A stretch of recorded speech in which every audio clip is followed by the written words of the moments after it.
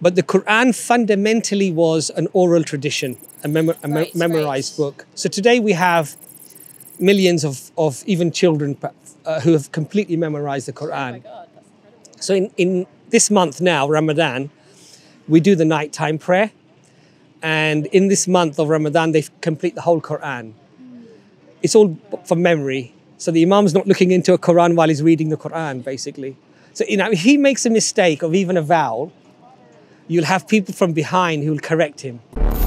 One of the interesting things there is that in the 143rd verse out of the 286, Allah says, and I have chosen for you the middle ground, the middle way. And it's in the middle. And it's the only time that the word middle is used, and it's in the middle.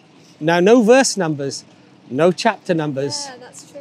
That's very remarkable. and random verses coming down with events unfolding. And he, the Prophet, peace be upon him, is telling them where to put those verses within the entire corpus of the Quran. If the universe can't give birth to itself, then where did it come from? And ultimately, it has to come from something that it, it itself is eternal, pre and post eternal, cannot have a beginning. And it is the explanation for itself. It doesn't require an explanation from outside of it. And so one, once one sort of comes to that conclusion, then one can come forward to revelation and other things and you know look into that. That, that is the, the tough one, isn't it? Is this about the Quran specifically? Yeah, so so yeah, but so one of the things that uh, are crucially important if one claims that one has revelation is that one should at least establish that it's preserved, because otherwise it doesn't matter to some extent. If if man has changed God's words, or the, the claim that some someone is making that these are God's words, then unless you could decipher which ones are God's words and which ones are man's words, it sort of becomes somewhat moot in terms of following it as a guidance. So one of the things that we try to establish is that there's a lot of academia now that ha- is established that seems to, uh, you know, um, solidify the Islamic opinion of preservation. And so, at least then that warrants perhaps um, an option to at least look into the scripture. Well, is it actually from God then? Because, you know, okay, it's preserved, fair enough. But preservation by itself doesn't mean that it's necessarily from God, right?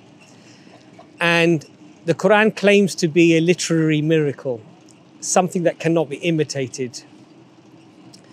And it's rather a bold claim from a man in a desert in the seventh century that, you know, this is a this is a work that none of you can actually better and none of you can actually, uh, you know, bring anything like it, basically.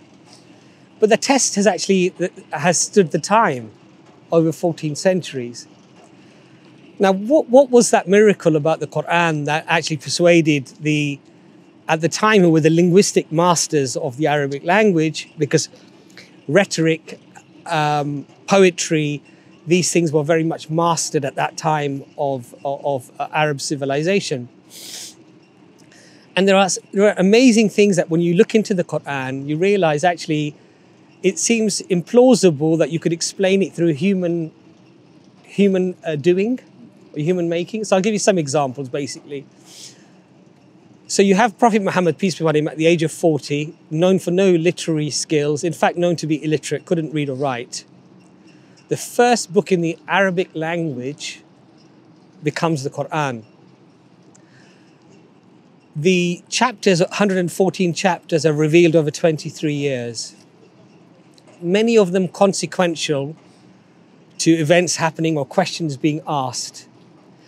The order of those chapters is not revealed in order, basically. So it's not chapter one, chapter two, chapter three. You have different chapters being revealed simultaneously, and even the verses within the chapters are not in order. So an event might happen, and the Prophet, peace be upon him, would say, say the verses that were revealed, and then he would say, This pertains to such and such chapter. It goes after those verses and before those verses. So over 23 years, you have over 6,000 verses, the whole book revealed, no editorial process. So there's no checking, there's no counting going on here. and the book is complete over, after 23 years, yet it's not compiled in his own lifetime. It's all just down to memory of the people. So the Quran. Sorry, my, I'm going to be No, a no, bit no, no, ignorant here about um, this, but the Quran was written before uh, Muhammad peace be upon him. No, was- no. So it was so so not in one book form. So ah, okay. So, So- there was. So people were writing. There were scribes who were appointed to write, Yes. but the Quran fundamentally was an oral tradition, a, mem- a Right, memorized right. book. So today we have millions of, of even children uh, who have completely memorized the Oh my Quran. God, that's incredible. So in, in this month now, Ramadan, we do the nighttime prayer. And in this month of Ramadan, they complete the whole Quran. It's all from memory. So the Imam's not looking into a Quran while he's reading the Quran, basically. So, you know, if he makes a mistake of even a vowel, you'll have people from behind who will correct him. Because it's memorized basically by millions and millions of people. At the time, we have hundreds of people who memorize the entire Quran.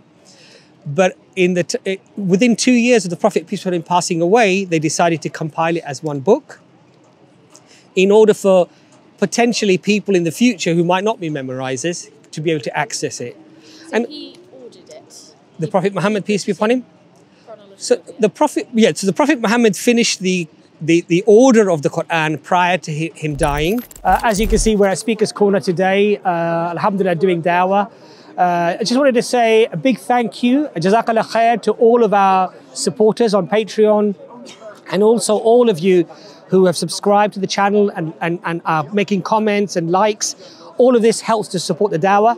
And mashallah, the money generally goes towards uh, transcripts, translations, and also uh, the shorts that we're doing regularly, alhamdulillah. And all of that is having an impact on spreading the dawah. So jazakallah khair. Inshallah, keep your donations coming and help the dawah to grow. Jazakallah khair. Assalamu alaikum wa rahmatullahi wa barakatuh he, Angel Gabriel, we believe, came to him twice in that final year. He used to come every year, but in his final year, he came twice to go over the Quran with him. He then would sit with the companions and he would listen to their Quran and correct them if they needed correcting. But there were a few wars that happened shortly after the Prophet, peace be upon him, passing away. And so there was a fear that if all the memorizers were killed, then we would have no record of it. So it was then decided by the first Caliph to compile it as one book, basically, uh, and bring it as one mushaf. But the fear of potential fear of loss of the memorizers dying never actually happened. So there were still hundreds and hundreds of memorizers, but it was just to be safeguarding that potential issue or problem that might arise. Um, and I think you started just telling us there was some speculation over the authenticity of some of the passages, or is that No, so no, no, no. So there's no there's no issue really about the Quran. The Quran claims that Allah says in the Quran, "It is we who have revealed this book, and it is we who shall protect it, guard it from corruption." We believe that that promise has stood the, the test of time, and there's many, as I say, non-Muslim academics that would attest to that. But just going back to the linguistic miracle of the Quran. Now, I told you how it was revealed over 23 years, not any chapter order, not any verse order, and not even compiled at the time of the Prophet Muhammad, peace be upon him, as one mushaf, one book. There are many aspects in the Quran that you would not expect to find. So, for example, Allah mentions man and He mentions woman.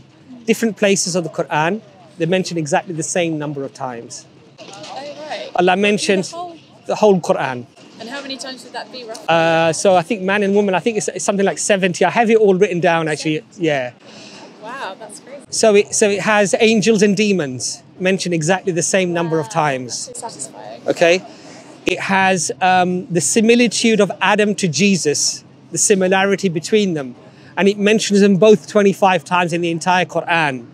I think it's in chapter four or seven, I can't remember, but where it says, where it compares the two, it mentions them exactly seven times up until that point.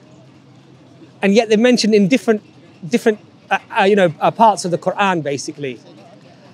So when we look at these things, and there's so many other examples like this, you, you think to yourself, well, how does a man in a desert in the seventh century, through memory alone, random verses, events unfolding? So, for example, somebody asks him a question, peace be upon him, and he lowers his head the verses are revealed.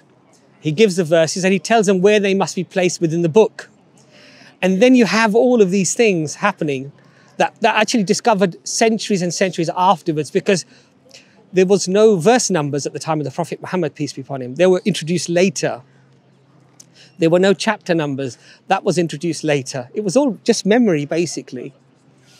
So now the question arises how do, and how, for an Arab people, when they're challenged that this book cannot be equal, cannot be imitated, and the best poets, the best people of rhetoric, they admit, even many of whom don't accept, who don't accept Islam, who say these words are not the words of Muhammad, this is some sort of magic.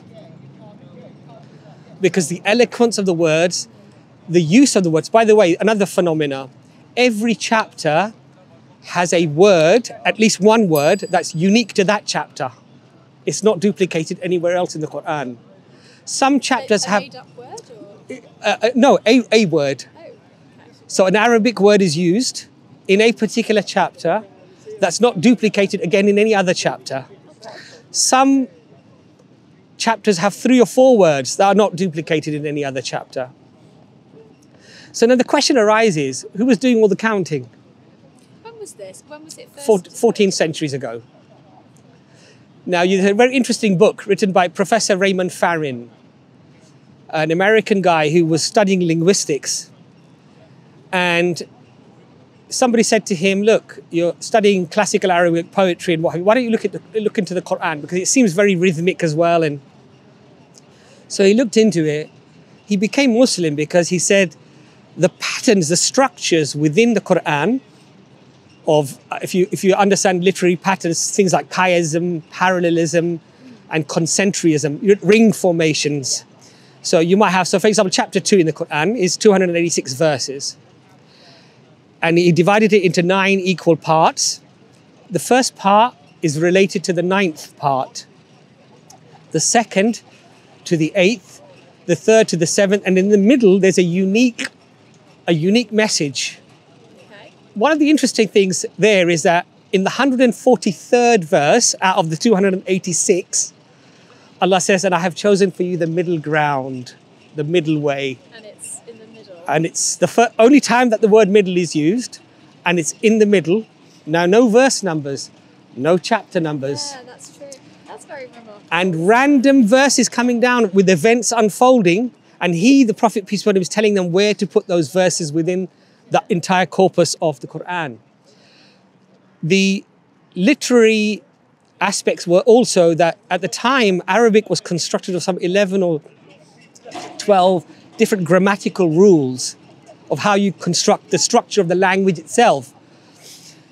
When the Quran was revealed, it conformed to none of those structures. It was a unique way of writing the Arabic language. So the Arabs couldn't understand how a man who was known to be illiterate suddenly was coming with these verses, these words. It also introduced words and concepts that were never used before in the Arabic lingu- in, in, in Arabic uh, um, um, lang- in the Arabic language. Kind of So, f- so for example, Allah says, um, "The owner of the day of judgment, Maliki Yawmiddin." The Arabs said, "What is this Malik, owner of the day of judgment?" We've never used this concept. We've never used these words in that way. yeah. Yet it's so powerful yeah. because it's talking about abs- absolute ownership of something which we never would. Or, for example, Allah says uh, that I swear by time. And the Arab said, What is this concept of swearing by time itself? So now again, you have a, a man in a desert in the fourth, in the, in the seventh century, 1400 years ago, no literary skills, never known for his poetry or his eloquence or his writing. The first book is now constructed in the Arabic language, which is the Quran. And it has all of these, and, and I've just touched on the surface, by the way. That's really interesting. It's certainly a Yeah. lot to think Yeah, about. yeah. I don't obviously know that much Yeah. about the Quran, and like I don't know where I would even find Sure. excerpts or passages to kind of. So uh, I would. Uh, to, there's a really interesting um, website uh, called Sapiens Institute, yeah. and there's also iERA.org, and there's a lot of free literature on those websites Yeah.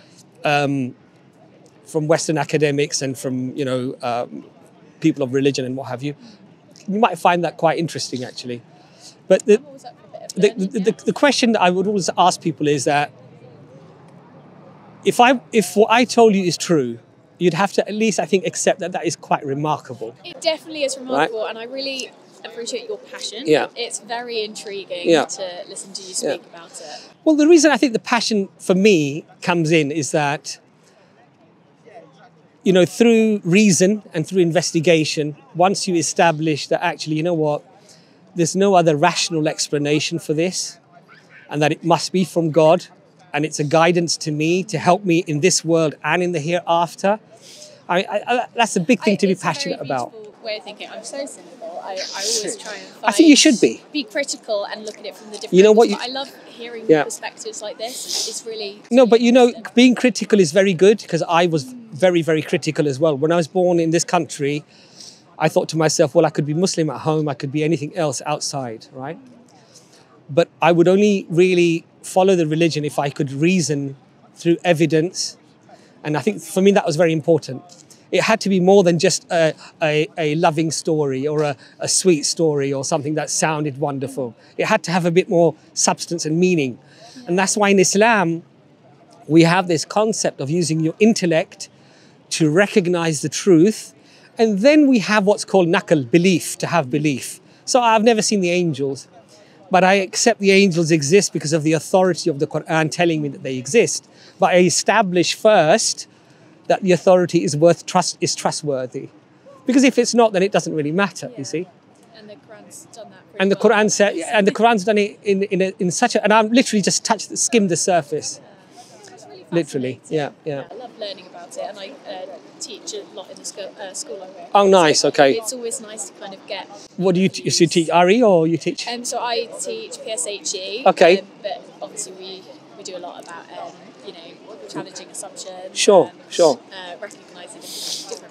Sure, and. So sure. That's kind of what I wanted to wonder. Right, right. See what you're saying. No, no, um, it's good. But Okay. no, it's, it's really nice. So Yeah. thank you for spending the time. No, no, explain this to it was, it was a pleasure to meet you guys. You, you look quite very cold. Freezing, I think, I yeah. think, I think, I think you thought it'd be a nice day Oh, today. thanks much. We're all right. What? Coats- No, no, no, no, no. Oh my God. I actually went into Primark to get a hat.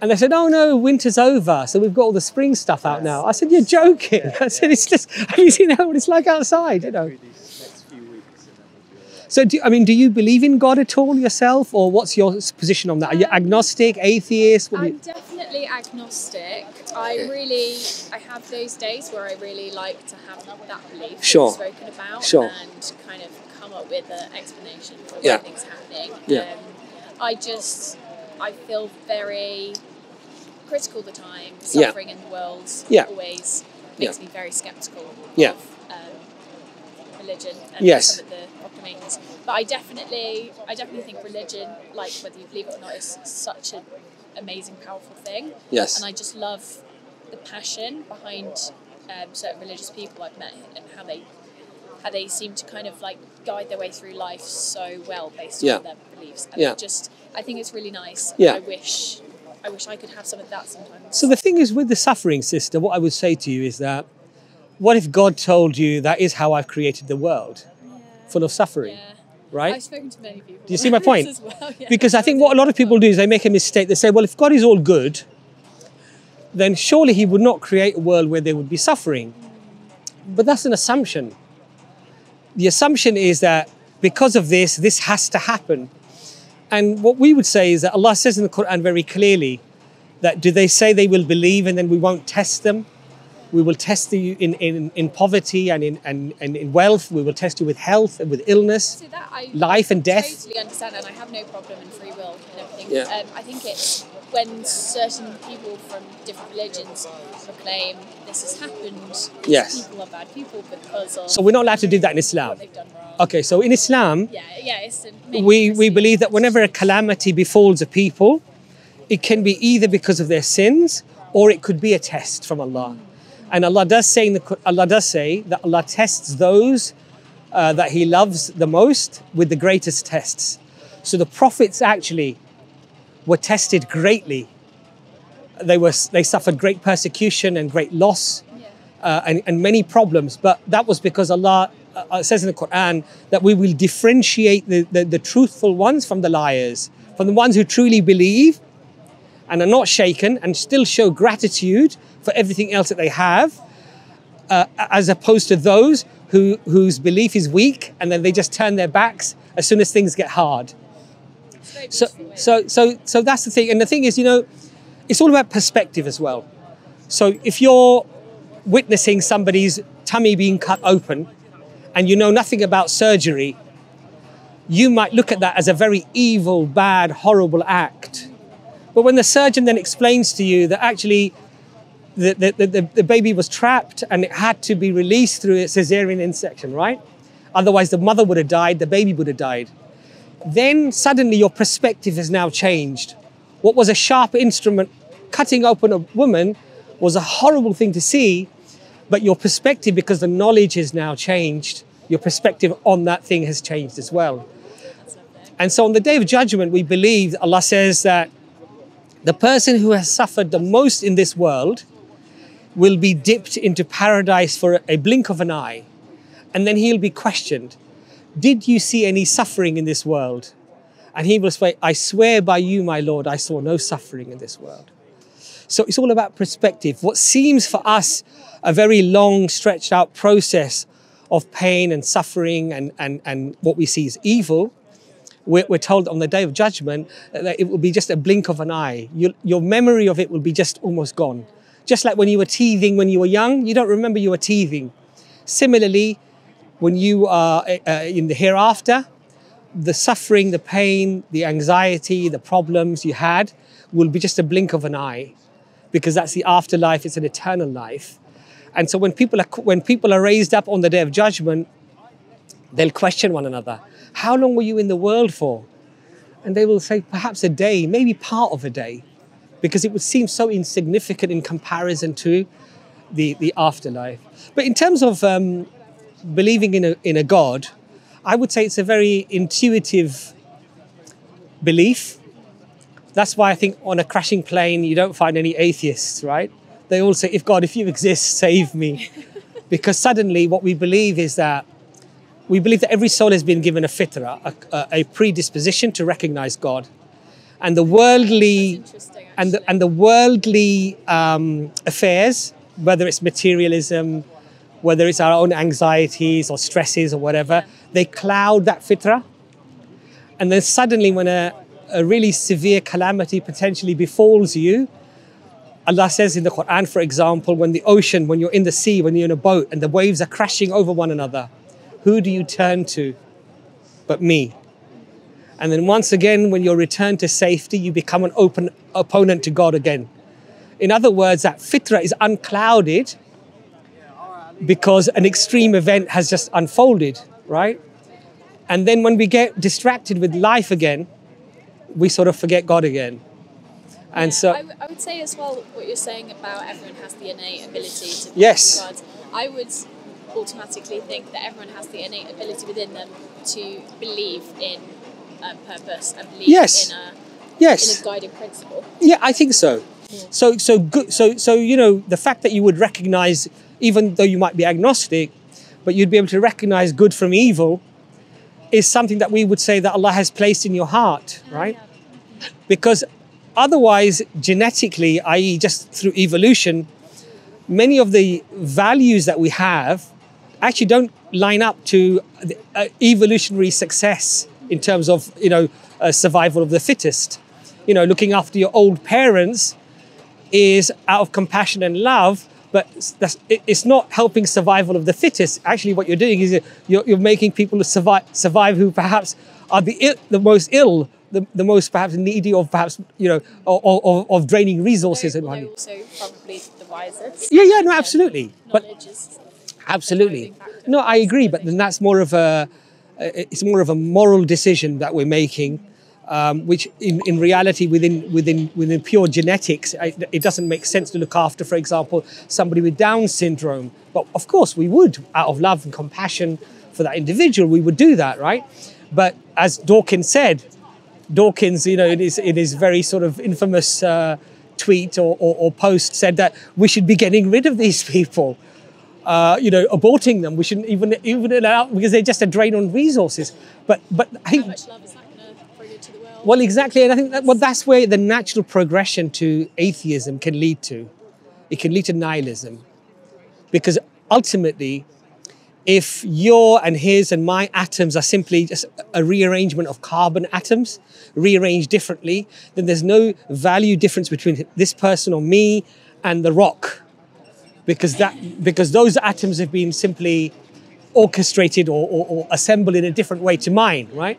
But clearly, we don't see the value of a rock to a human being as being the same. So there's something above pure mechanics, let's say, that we would look at in order to come to that conclusion, you know?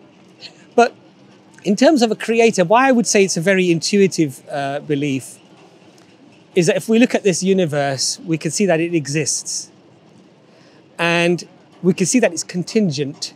It relies on certain things being there for the universe to exist or have a chance to exist. So you need, you know, strong forces of uh, uh, weak and strong nuclear forces, for example, uh, for for pr- protons and electrons to even function, so there can be basic chemistry, so there can be biological life. All these things, right? And the universe could have been assembled differently, so it requires an explanation. And what you can't have is an infinite series of material explanations. Because if there was an infinite number of steps to traverse, you and I would not be having this conversation. Because you can never traverse an infinite. What do you mean? So I'll give you an example. Sorry, and then I will let you go get. Sorry. so let me give you an example. If today's step was, say, this step here that we meet in, in time and space and we have this conversation, if you had to traverse an infinite series of steps, reaching this particular step, you couldn't do it. Because, for example, if you're in the army, what's your name, sorry? Owen. Owen, Owen, Abbas, yeah? And Alex. Alex, yeah? So, Owen, you're in the army and you have a gun in your hand and you say, Sergeant, can I take the shot? I'll be your sergeant. Yeah, I'll be in charge of you, yeah? I said, wait, hold on a second. I have to ask my superior. He then has to ask his superior. And that went on infinitely. Would you ever take the shot? No. Because you- can't traverse an infinite, right? So, what we would argue is that there has to be a beginning of everything that it itself is the explanation for itself and it can't have a beginning. Because if it had a beginning, it requires an explanation, and then that requires an explanation, and that requires, so you can't have the infinite regress. And we would say, this thing, whatever this thing is, clearly very powerful because it's brought this universe into existence. Okay, it's designed and fashioned biology and chemistry and everything else. Has to be very powerful, very intelligent, has to decide when to bring things into existence. And that sounds a lot like an almighty being, an almighty creator, the first cause. And so we would say it's a very intuitive thing. And this is why the Quran addresses this question very beautifully. Allah says in the Quran, Did this universe create itself? So Allah is asking you the question directly, Owen and Alex, that think, contemplate about this. If the universe can't give birth to itself, then where did it come from? And ultimately, it has to come from something that it, it itself is eternal, pre and post eternal, cannot have a beginning. And it is the explanation for itself. It doesn't require an explanation from outside of it. And so one, once one sort of comes to that conclusion, then one can come forward to revelation and other things and you know look into that. That, that is the, the tough one, isn't it? Because I always think from a scientific perspective, you just go pulsating universe, um, then just Well, matter. That- Yeah, so it is what it is, and it's just constantly Yes. having the Big Bang contracting over and over. but apparently So if you if you if you read do a little bit of research, even the pulsating universe requires a first a, a first mover. Mm-hmm. It requires a first cause. which is so difficult. Yeah, it's difficult. The other thing the, the other thing is this that when we look at our universe, things at the outer reaches of our universe are moving a- away from the center or where the, we presume the Big Bang was, faster than the speed of light.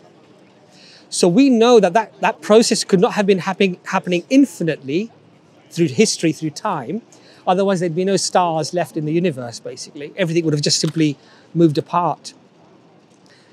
So we know that there's some sort of finite time because we can still see stars. And we know that in trillions of years, if the universe was to continue, that the stars would actually disappear eventually.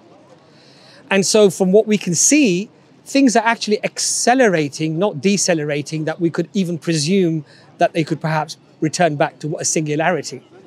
But in any case, the singularity itself is contingent because it has certain things assembled in a certain way that if they could be assembled differently.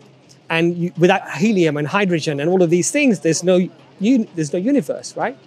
Without strong nuclear forces, weak nuclear forces, you know, you don't have chemistry, biology. So from all of this, what we can actually see is that it seems more plausible, it seems more reasonable to say that this was brought into existence by something, and whatever that initial something was, it couldn't have had a big, it could not have had a beginning. But it's very powerful, and it's very intelligent.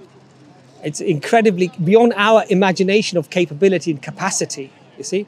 And then, of course, we find evidence that this creator has communicated with us, and there's a lot of evidence to support that this actually is from the creator. So it sort of all ties into Yeah. as, as a holistic uh, message. I think there's no, for me, there's no like, you know, people say to me, what's that one thing you could say to me that would make me believe in God? I think, I think it's not like that. I think it's a very, it's an accumulative thing. Just like you might have accumulative reasons to accept a particular notion. I'm, I've never been to Australia, but I accept Australia exists. I'm pretty convinced that it exists, right? Because obviously there's an accumulation of, of, of evidence it could be testimony, valid testimony, photographs, it could be satellite images, it could be all of this stuff put together, you know, that would convince me that Australia probably does exist, right? And now in the same way, I would say it's an accumulation of evidence when we look at the argument from contingency, when we look at, you know, do things just come into existence from nothing? Um, could the Quran have simply been a work of a genius? You know, when, when I look at it, could a genius even come up with, for example, prophecies? The Quran makes prophecies about, there's a chapter called Surah Rum, Rome.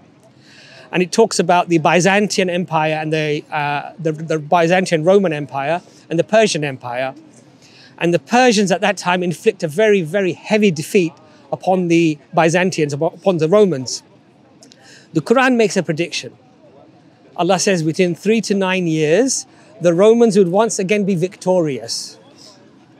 And people thought this was a very counterintuitive claim because the Persian and Roman Empire eventually both collapse from the Islamic Empire. So that could have happened before the prophecy came to, to fruition. The Persians actually could have gone and just finished off the, the Romans because they were on the brink of dying out. That didn't happen. Exactly as the Quran predicted, that in fact the Romans will once again be victorious. Listen, it's so lovely to Yeah, listen Uh, it's freezing. I know. we need to go and I know. warm up a It was, it was really nice. I think you need a, you need a big coat. I won't Yeah, shake your hand, get sister, one. because in Islam we're not allowed to touch um, uh, any woman who's not our wife, daughter, sister, or mother. That's okay. Yeah. And that's out of respect. It's not because of a value thing or anything else. It's out of uh, out out of respect for our sisters that we don't physically t- touch them. So I just want to apologise for that, but just not. Please don't take any offence by that. High five then. It was lovely to meet you guys. Have a lovely, lovely day. Bye. Alhamdulillah, that was a really nice conversation.